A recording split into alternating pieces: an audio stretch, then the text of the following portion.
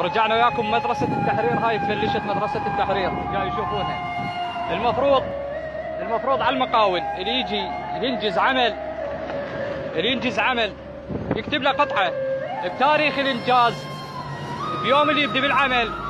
بتاريخ اليوم اللي اشتغل به وأكو له مدة نهاية نهاية عمل. فلشت مدرسة التحرير. خليتوا لها بديل؟ لا ما خليتوا لها بديل. وين مكانها؟ بدأ العام الدراسي الجديد راح يبدي هاي الأيام إن شاء الله. ورحم الله والديكم على هذا الإنجاز وبارك الله بيكم والله يحفظكم وينصركم إن شاء الله.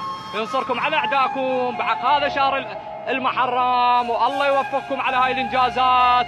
وبارك الله بجهودكم الطيبة على هذا الإنجاز العمل الرائع. وأنتم ما قصرتوا ورحم الله والديكم من فلشتوا مدرسة التحرير لحقتونا عليها. هي عايزة والتمت إن شاء الله. عايزة والتمت.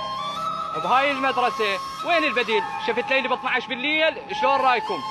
عمي ما ناشد بعد بس رب العالمين. لأن جزعنا من عندكم وملينا. وكافي. كل عمل مالتكم والله العظيم شغلكم مو صحيح. وهاي المدرسة تفليش بس السقف مالتها 123 مليون.